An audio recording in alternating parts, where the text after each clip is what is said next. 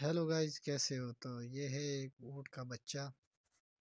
तो बहुत ही प्यारा है। इसकी माँ का ऑपरेशन हुआ है। तो गाइस, देख सकते हो, ये है इस बच्चे की मोम। तो इसका ऑपरेशन हुआ है। तो गाइस, ये है उस बच्चे का बाप। थोड़ा सा गुस्से वाला है।